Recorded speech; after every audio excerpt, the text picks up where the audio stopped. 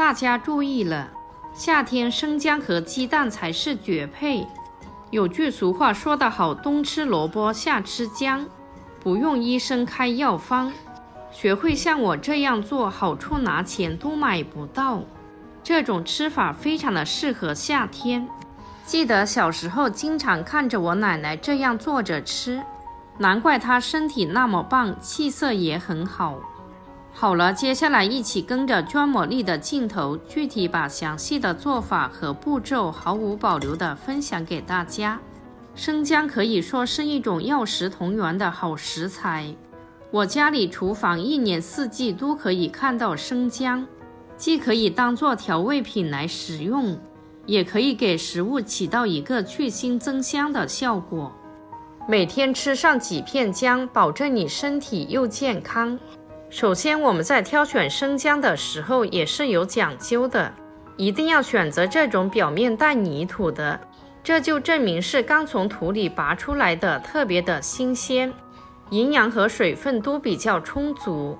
像我视频中这种生姜是最好的。泥土泥沙又多，最主要是特别的新鲜。生姜一词的由来，相传生姜是由神农氏发现并命名。有一次，神农氏在山上采药，误食了毒蘑菇，结果就昏倒了。他醒来后，发现自己倒下的地方有一丛尖叶子的青草，香气浓郁。他闻了闻青草。顿时觉得头不晕，胸也不闷了。于是他把植物的根放在嘴里，细细咀嚼。没过一会儿，身体便全好了。他见这种草能够起死回生，就决定给它取个名字。因为自己姓姜，神农氏就把这种仙草取名为生姜，意思是他使自己起死回生。首先准备一小股生姜，先用流动的清水把上面的泥土和泥沙冲洗干净。冲洗掉之后，我们再次用刷子把生姜的表皮再次的刷洗一遍。因为生姜的夹缝里面清洗不到，用牙刷就能很好的把它刷洗出来。我奶奶常在我们耳边说“病从口入”这句话，都听到耳朵起茧了。因此，吃的东西一定要保持干净卫生，这样对身体才不会有所伤害。准备两个正宗的公鸡蛋，也用流动的清水把它冲洗干净，冲洗掉上面的脏东西以及鸡粑粑，这样就不用担心在打鸡蛋的时候，连同蛋壳上面的脏东西一起和蛋液打入碗中了。接下来再把洗干净的生姜切成小段。然后再用刀把生姜给它拍扁，拍过之后的生姜能更好的激发出里面的姜辣味。生姜的姜皮属于凉性，姜肉属于热性，两者正好可以中和，所以最好连皮一起食用，营养和效果都会更加的好。最后拍成像我视频中这样子稀巴烂就可以了，再把它装入小碗中备用。然后再把洗干净的鸡蛋一个一个的打入碗中，最后再用筷子搅拌均匀，使蛋清和蛋黄充分的融合在一起，给它多搅拌一会儿，这样煮出来的鸡蛋不仅分量多。而且吃上去的口感也更加的细腻丝滑。最后把鸡蛋搅拌制成像我视频中这样子，用筷子挑起来成线状就可以了。先把搅好的鸡蛋放一旁备用。接着再准备几个洗干净的红枣，我们准备一根比较粗一点的吸管，然后再往红枣的中间扎进去。把里面的果壳取出来，这种去骨头的方法既简单又卫生。只要你善于发现，生活上处处都是小惊喜，里面非常的完整又漂亮。最后再用刀把红枣切成小块。有句俗话说得好：“一日三枣，长生不老。”尤其是对于我们女性朋友来说。每天吃上几个枣，那真的是好处好的不得了。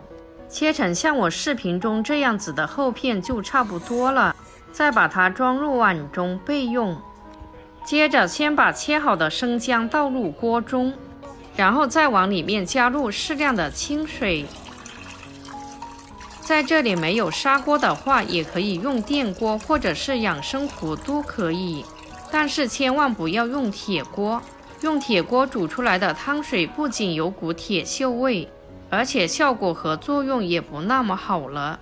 不过水的量也一次性要加够，中途不要再加水，要不然会影响它的口感和作用。然后再给它盖上盖子，开大火让它煮开。水开之后，再转中小火给它煮上十分钟左右，把生姜里面的营养和姜辣味充分的煮出来，这样无论是从口感还是作用上都会更加的好。十分钟之后再打开盖子，哇，好香哦！一股热气腾腾的生姜姜辣味扑鼻而来。这时生姜里面的营养成分也已经充分的煮出来了。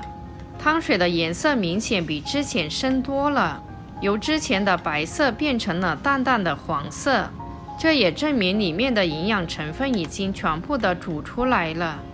接下来，我们再用勺子把里面的生姜控水捞出来，因为里面的营养已经全部的煮出来了，没必要再煮下去了，尽量给它捞得干净一些，这样食用起来也比较方便。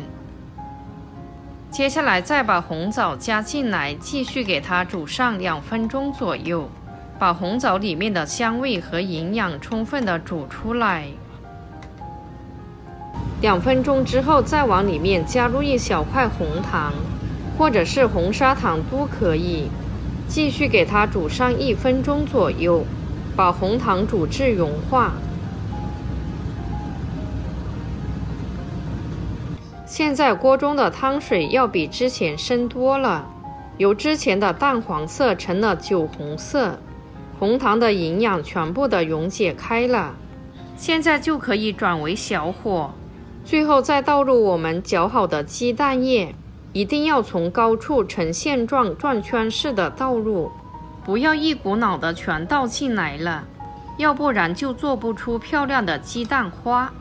鸡蛋液凝固之后就可以出锅了，也不用煮得太久，因为蛋液很容易熟，大概三十秒左右就可以了。